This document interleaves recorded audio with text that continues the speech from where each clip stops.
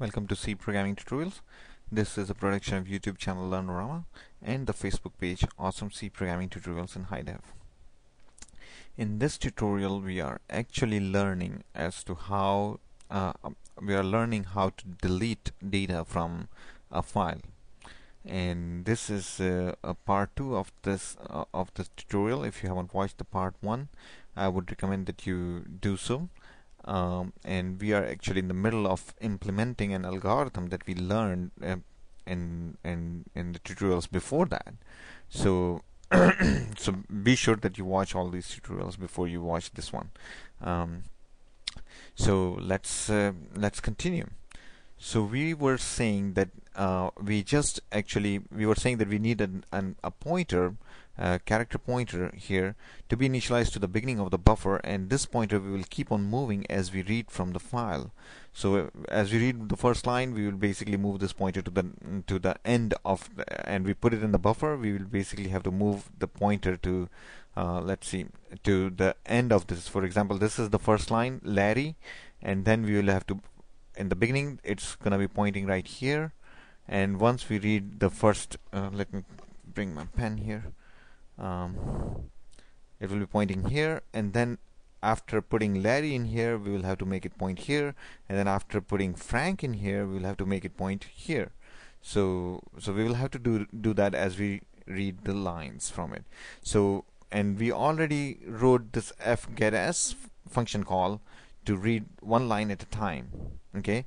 So now we have to manipulate the buffer here. So as we you know as we go on. So after reading the line we said that every time when we will be reading the line we will have to see we will have to do we will have to do one thing. What do we have to do? We have to we have to check to see if the line that we just read is the same as the name Joe. Because Joe you know we want to uh, we don't want to write it into the buffer if it is Joe. If it is not Joe then we have to write it into the buffer. So how do we do that? So after executing this after this function called fgets line string this line string in this variable in this array the whatever the line that it read from this file it will be stored there okay?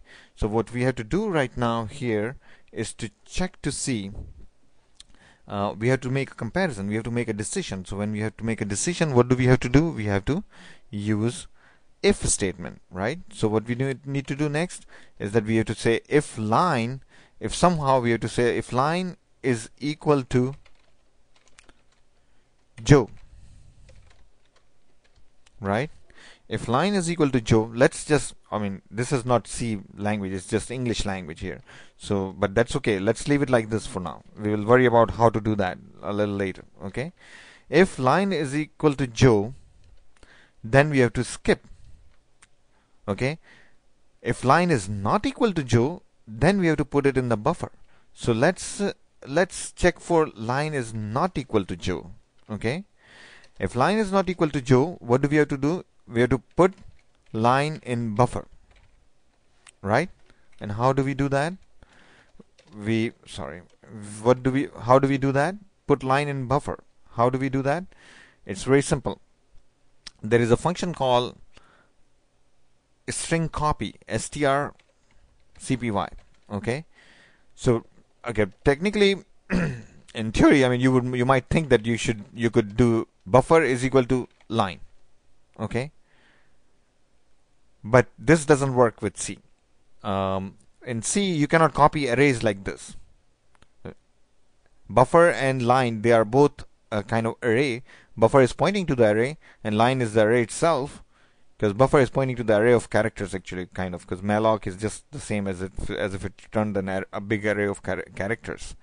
So you would think that you could do buffer equal to line but you know uh, c is not that simple. Long time back i mentioned that if you since line is also a string and buffer is also a string in order to in order to copy a string into another string you have to use a function call okay? And that function call is str copy. All right so string copy is that function call and and what we need to do is uh, is you need to it takes uh, it takes two parameters. One is the destination string and the second is the source string. So source string is the is the string that we have to copy over to the destination string. Okay? So in this particular example we have to copy line over to buffer right? So this strcpy it's for string str is for string and cpy is for copy. So string copy strcpy it will copy line the contents of line into buffer okay? But there is something wrong here. What is wrong? We said that we have to copy the line to wherever the pointer ptr is pointing to. So in the beginning it will be pointing to the, the beginning of the buffer. But then as we keep processing the file it will keep on moving. So we have we don't have to copy it where buffer is pointing to which will stay at the beginning. Buffer pointer this pointer will always remain in the beginning throughout the program. Okay? We don't want to copy line in the beginning. If we keep on every time when we read a line we copy it at the beginning it's it's gonna keep on overwriting whatever we wrote before. So we don't want to do that. We want to copy it where the ptr pointer is actually pointing to right? So instead of using the buffer we want to use ptr so this way we will put the pointer, the line wherever the pointer is pointing to. That's where the line is going to go. Now, after we do that, what, what else we have to do? We have to move this pointer. If the pointer was pointing here and we put the Frank, the name Frank here, this is string Frank here, at that point the pointer PTR is not going to move by itself. We will have to move pointer ahead. So how many bytes do we have to move? 2, 3, 4, 5 actually the same number of bytes as the string line. So line has Frank, then we have to move it for as, as many bytes as there are in the string Frank. And then it, we will be writing Kelly, then we have to move as many bytes as there are in the string Kelly. So how do we do that? It's very simple. We say ptr is equal to so we have to add onto PTR. We have to add, we have to increment it to move it. In order to move it, we have to increment it. How many bytes? As many bytes, as many characters as there are in the in line. And how do you find out how many characters are there in a string? There is a function called strlen, which is a string length. It's like the length of the string. So whatever the length of line is that we just read, if it is Frank, then it is F R A N K and then backslash n. Remember F get S also reads new line characters. Okay, so so we don't have to worry worry about it. The current whatever the length is, including backslash n, we have to increment the PTR by that much and then store the same value onto PTR. Right? So that way PTR will move. Otherwise PTR is not going to move if you just do this. This will just add and then throw away that value. We have to, whatever the result is, we have to put it back into PTR. And remember, whenever it is like some variable equal to some variable plus something, you don't have to write it this way. You can write it like this. PTR plus equal to strlen of line. It's the same thing. It's the same thing as writing PTR is equal to PTR plus str length of line.